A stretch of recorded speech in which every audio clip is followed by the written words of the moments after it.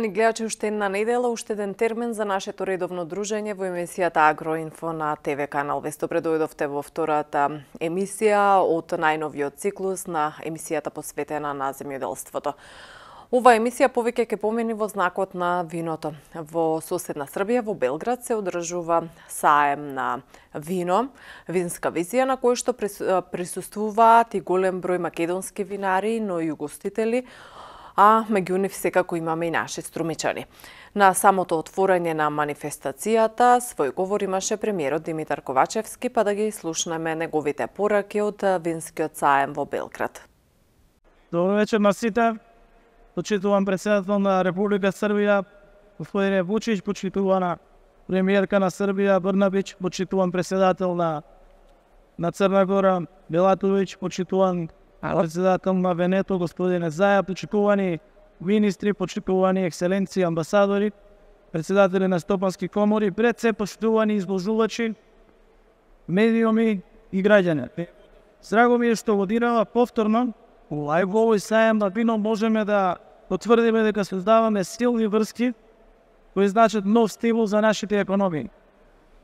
Звинативе години преку Отворен Балкан имавме видливи резултати кои ги препознаваат и граѓаните и компаниите.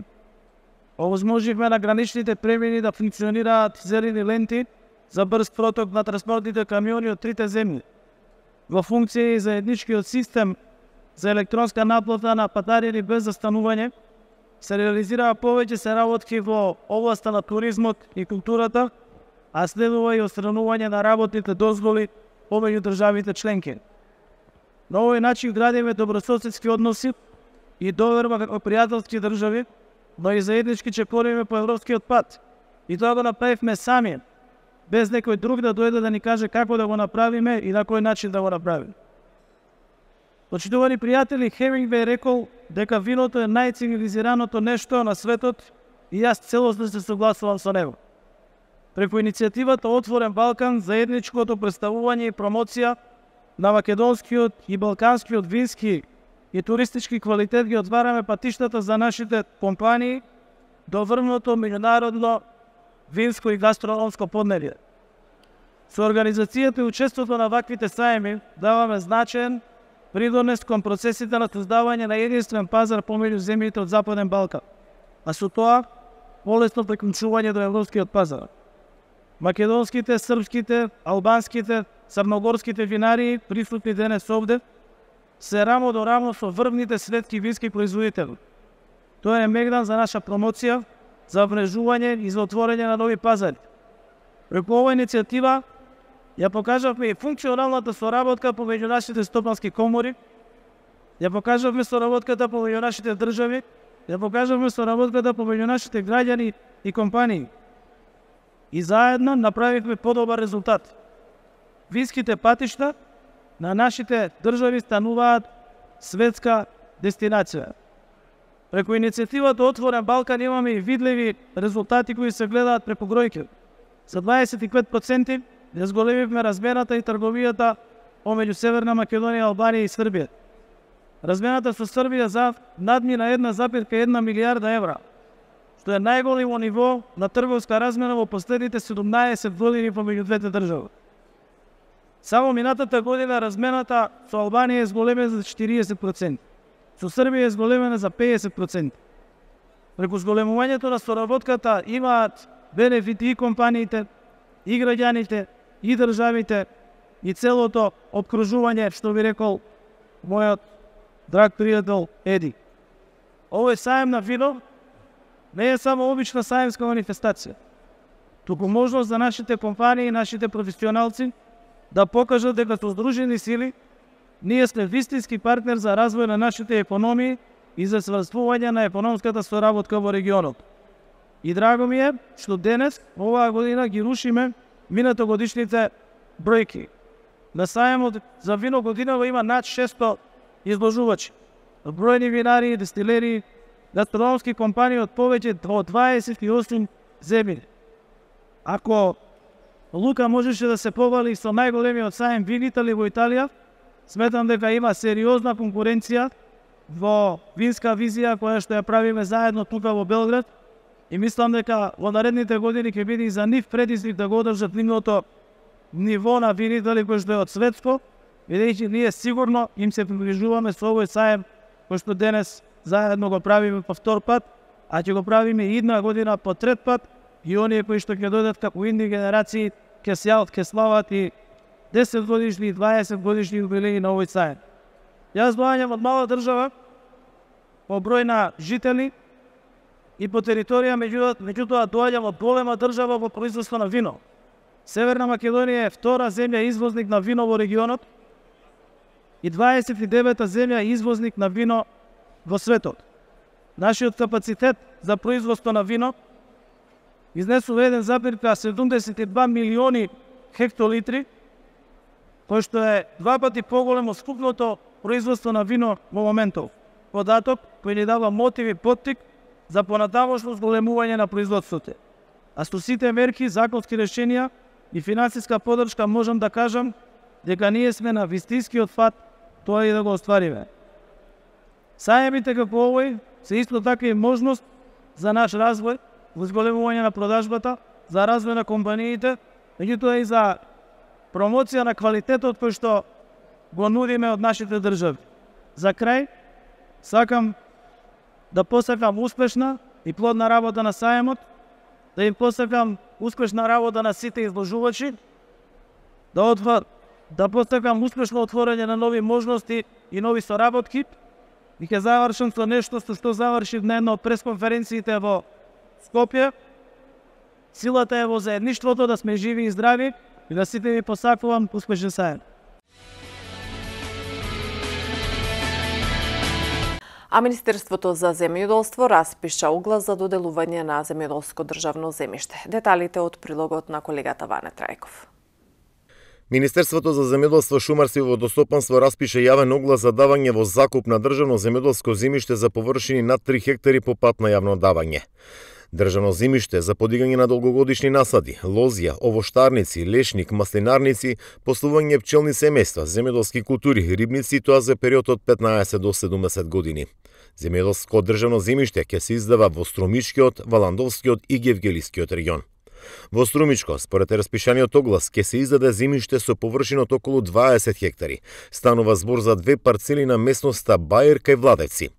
Во Валандовско ќе се издаде земиште на локациите Викани, Барата, Зад Барата и Маркови Дабички во катастарското место Грчиште. Таму се нудат околу 15 хектари државно земјоделско земиште. Државно земјиште се издави и во Гевгелискиот микрорегион кој ги опфаќа општините Гевгелија, Богданци и Дојран. Таму се нуди земјиште околу 70 хектари. Според огласот, парцели има кај населеното место Богородица на местноста викана Курија, потоа кај Прдајци на местноста викана Стоева Чука, кај Моаин на местноста Ракита. Потоа во местноста Болован вон градско подрашје на Богданци, Бела Чешма кај Стојаково, Парагон кај Селемли, како и локациите Лилова бара и Елите кај Фурка и во катастарското место Сретенови на Владајско поле и Зафирка. Право на учество на јавниот оглас има домашни физички и правни лица и странски правни лица. Физичките лица треба да се регистрирани вршители на земјоделска дејност или да се трговец поединец на кој земјоделското производство или преработка на примарни земјоделски производи им е приоритетна дејност. Јавниот оглас трае 30 ден од денот на објавувањето. Заинтересираните апликанти образецот за учество на јавниот повик, односно понуда, може да подигнат во Министерството за земјоделство, подрашните единици или преку веб страницата на ова министерство. Истиот мора да се пополни со сите потребни податоци и да се достави заедно со потребната документација во затворен коверт.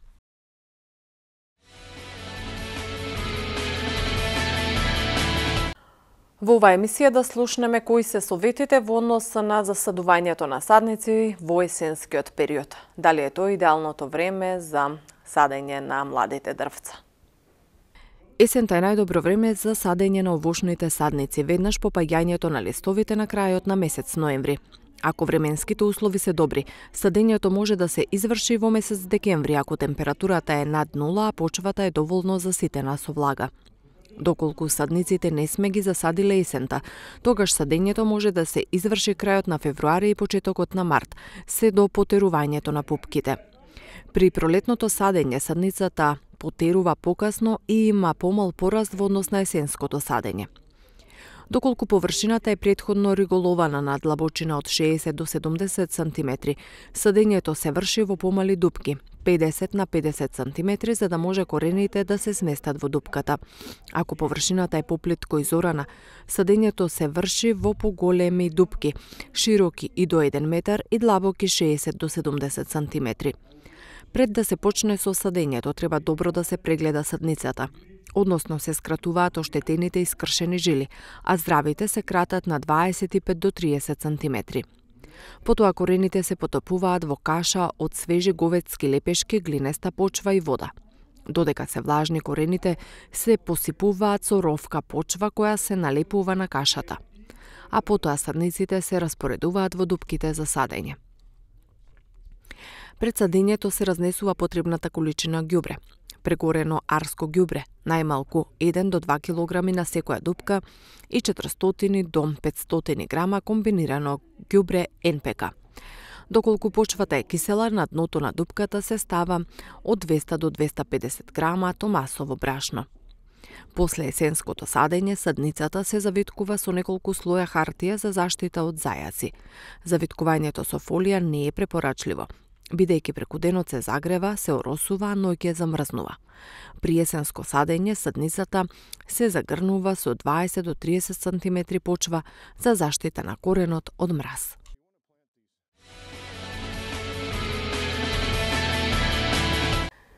И за крај на оваа емисија, 8 минутно патување во а, на, и начин на кој што се произведува грозие и вино надвор од границите на Македонија.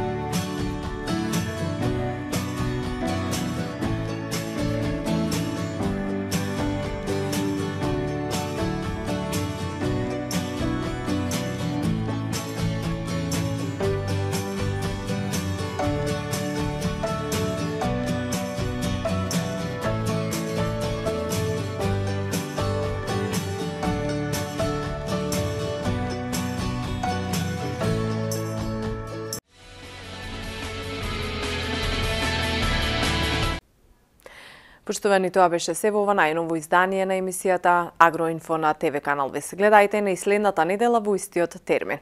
И секако уште еднаш доколку имате интересни приказни кои што сакате да ги споделите со пошироката јавност, слободно јавете се во просториите на ТВ канал Вес за екипата на Агроинфо да дојде да ве посети и да го пренесеме сето она што како искуство, како знаење и како интересни совети би можеле да го дадете за нашите земјоделци. Пријатно!